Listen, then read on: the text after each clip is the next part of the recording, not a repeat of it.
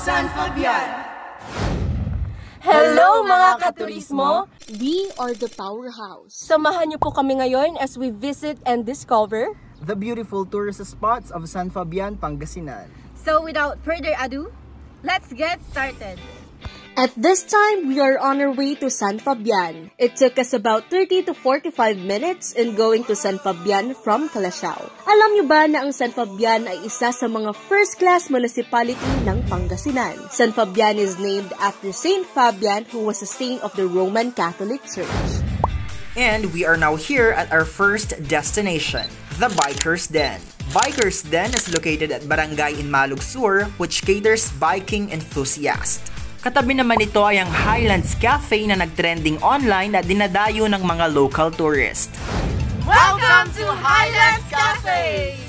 In this cafe, we can enjoy the magnificent view of the lowlands while sipping our coffee and eating delicious foods. What makes this cafe unique is the bamboo structures and nipa roof na yung iba ay Bali Indonesian-inspired. Bukod pa doon, the foods and drinks are affordable. The staff are accommodating and marami ring Instagrammable spots I'm sure you will love. Hindi na natin kailangan pumunta ng New Zealand para ma-experience kung paano magstay sa isang habit house. Because our next tourist spot is the Farmville San Fabian Welcome to Farmville, San Fabian! which is located at Barangay Lipit, Tumaang. Before ka makapasok dito, kailangan mo munang magbayad ng entrance fee. Ang entrance fee nila ay 100 pesos for adults, 60 pesos for kids, and 80 pesos for senior citizens. Farmville San Fabian is an ecotourism farm na perfect para sa mga gustong i-escape ang city life.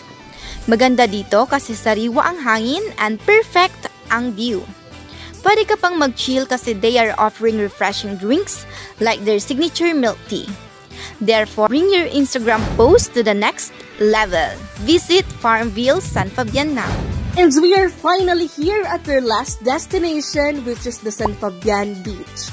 Aside from perfect itong beach na ito for family outings, you can also relax here dahil sa therapeutic sounds of waves and fresh air na I'm sure makaka-relieve ng stress natin sa buhay.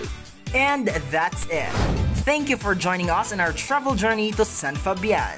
Indeed, traveling opens our hearts and fills our life with stories. Kaya ano pang hinihintay nyo? Welcome to San Fabian Beach!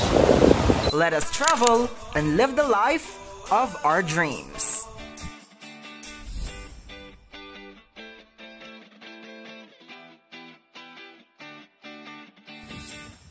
Welcome to San Fabian!